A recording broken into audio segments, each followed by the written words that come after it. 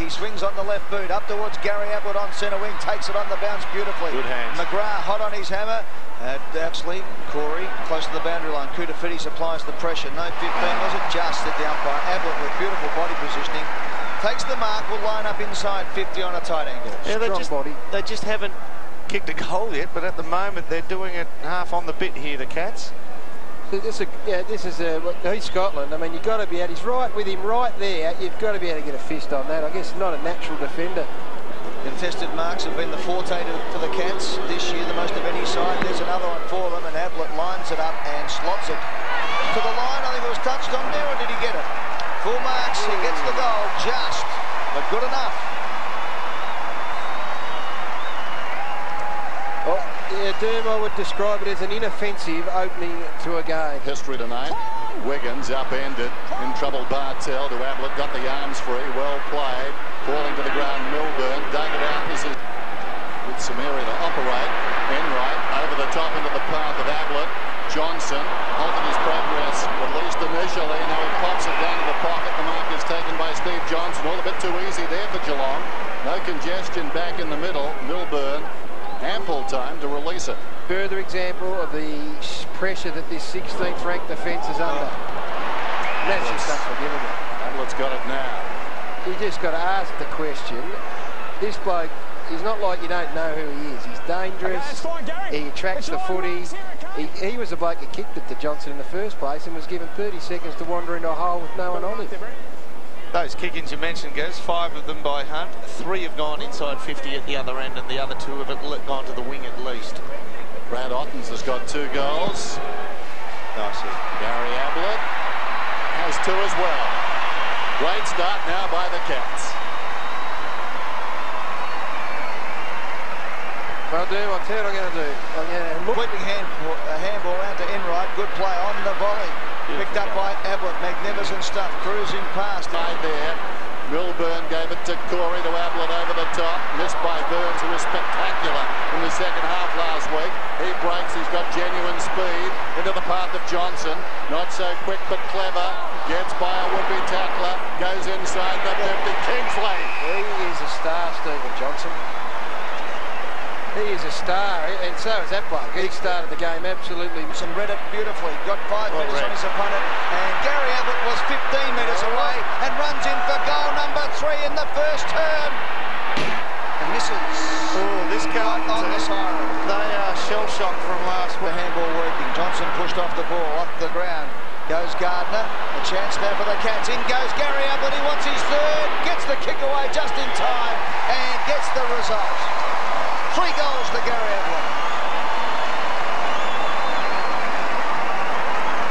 But you can put that one down to Brad Ottens. If ever you hear about clearing a path for the little man, just watch the little sideways shove by Brad Ottens here. Once the ball goes, I mean, good pressure. Now watch the contact here. Just moves Lance Whitnall out of the way, and that is legitimately opening a path for your smaller man to run onto it. Well done, Brad Ottens. Any one of uh, three Geelong players could have gathered. Towards half forward. Ablett is outnumbered. Expect the unexpected. Somehow he got through. Ablett goes short. That's wonderful.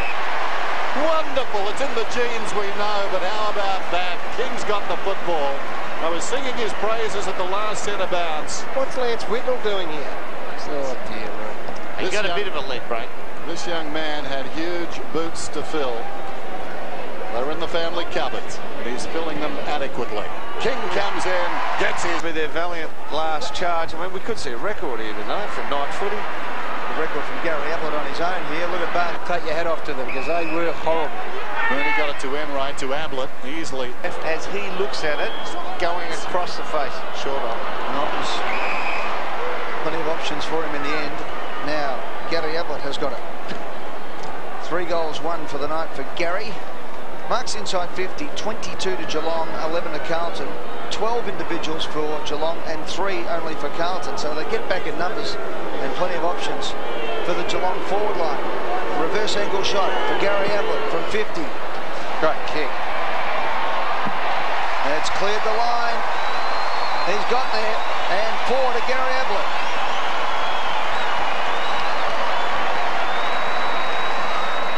Well, some good hard running through the mid. Stevens, still Stevens. Gosh, in trouble, gets a hand pass away, holding the ball. Well, he did take on a couple. The tackle that got him didn't stay fixed for long, but that's all it needed. Quickly, the ball has moved on, getting back with courage down there. Johnson picked up by Burns, kicks a goal.